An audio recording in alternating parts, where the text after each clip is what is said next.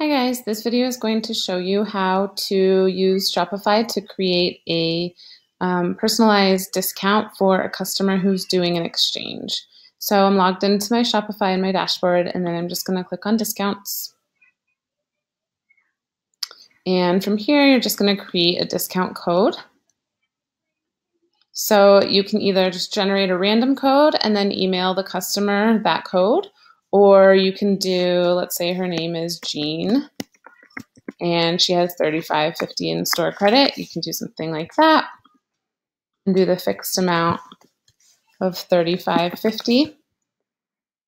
Make sure that you click on specific customers and you're going to put Jean in there and you're going to limit it to one time use per uh, one time use total.